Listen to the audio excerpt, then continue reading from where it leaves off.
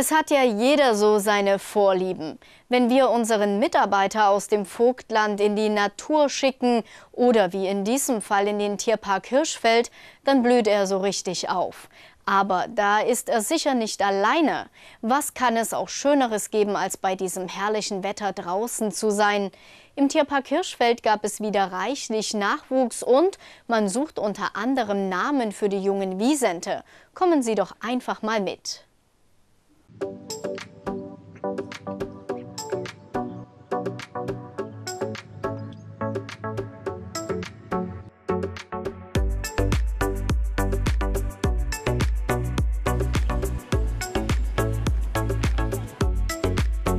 Die schönste Jahreszeit hat nun auch im Tierpark Hirschfeld Einzug gehalten.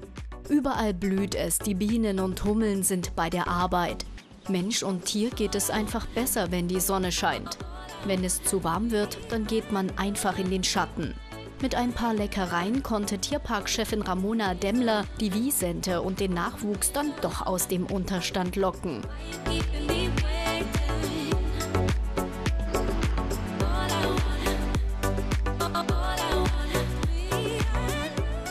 Selbst unter der Woche ist der Tierpark gut besucht. Das ist richtig. Wir haben also sehr, sehr viele Besucher und wir haben vor allen Dingen ganz, ganz viele Jungtiere, die bei uns in den letzten Tagen und Wochen geboren sind. Und wir stehen hier gerade bei den Wiesenden. Dort haben wir also Nachwuchs bekommen. Das erste Jungtier ist Mitte Mai geboren und das zweite Jungtier ist am, zum Kindertag äh, zur Welt gekommen. Es sind zwei Jungs diesmal, also zwei Bullenkälber. Und wir suchen für die beiden einen Namen. Die Namen müssen mit ZW beginnen. Das hängt damit zusammen, dass wir seit 1972 im Zuchtbuch für die europäischen Wiesente sind und dort ähm, Buchstaben zugeordnet bekamen. Und da HI für Hirschfeld schon vergeben war, haben wir also das ZW für Zwickau bekommen. Und seither heißen alle bei uns geborenen Wiesente, haben also alle einen Namen, der mit ZW beginnt. Haben Sie ein Beispiel? Na, zum Beispiel Zwerg oder Zwetschge oder Zweifel oder Zwieback, ist alles schon da gewesen. Okay. Voriges Jahr haben wir also auch einen Namen gesucht. Da hatten wir ja zwei weibliche Kälber und haben auch sehr viele Vorschläge erhalten, aber die waren halt alle weiblich und dieses Jahr brauchen wir zwei neue, nämlich männliche Namen. Wie funktioniert das? Am besten per E-Mail, da ähm, sparen wir uns äh, Papier und Briefmarken, also per E-Mail an tierpark.hirschfeld-sachsen.de. Und natürlich wird äh, derjenige, dessen Namen ausgewählt werden, verständigt und bekommt dann eine Familieneintrittskarte für den Park. Dann nahm Ramona Demmler unseren Mitarbeiter mit auf einen Rundgang bzw. eine Rundfahrt durch den Tierpark. Die nächste Station war das Kängurugehege. Hier hieß es vorsichtig anpirschen. Bei den Kängurus gab es auch Nachwuchs? Ja, bei den Bennett-Kängurus haben wir also das erste Mal ein Jungtier in diesem Jahr. Und wie man sehen kann, inzwischen ist es so weit, dass es doch schon alleine im Gehege unterwegs ist. Ähm, aber wenn Gefahr droht oder wenn es erschreckt, dann schlüpft es noch immer in den Beutel der Mama. Und so konnten wir das bisher ähm, auch noch nicht sexen. Also wir wissen das Geschlecht des Tieres noch nicht, da wir es noch nicht alleine einfangen konnten. Also bleibt es spannend. Putzig anzuschauen ist es allemal. Weiter ging die Fahrt zu einem Alpaka-Gehege. Die Tiere wurden gerade umgesiedelt und das hatte natürlich seinen Grund. Ich bin die Frau Rapen. Ich bin Reviertierpflegerin im Bärenland, also betreue die Wölfe und die Bären, dazu gehören noch die Minischweine. Und bin seit über 30 Jahren hier im Tierpark tätig.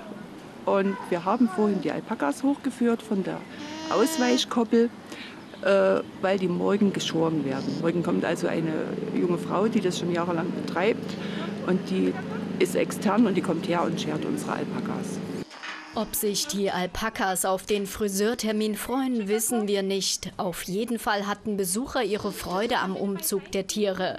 Die macht immer den Besuchern Spaß, weil die Tiere recht äh, nett sind und äh, es dauert halt seine Zeit. Man muss sich ein bisschen Zeit lassen. Die laufen recht langsam und die Olga, die die Kollegin hinterhergeführt hat, die ist ein bisschen älter schon und die braucht halt auch ihre Zeit, um hier oben anzukommen.